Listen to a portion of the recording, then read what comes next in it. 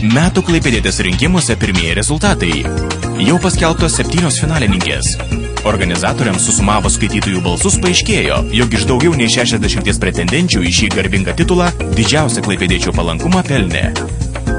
Lina Grinčikaitė, Nijolė Hansen, Rita Ilgūnė, Kristina Kesmininė, Magdalena Piklaps, Irena Šakalienė ir Danutė Žičkuvienė. Dienraščio Klaipėda vardu sveikinu šitas septynės nuostabias moteris, kurios pakliuvo į antrąjį metų Klaipėdietės rinkimų etapą.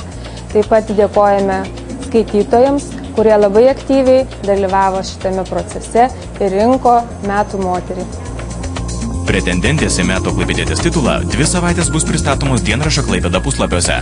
Balsuoti už savo favoritą bus galima nuo vasario 20 dienos. Daugiausia klaipėdiečių simpatijų pelniusi moteris bus iškilmingai tituluota kovo 5 dieną.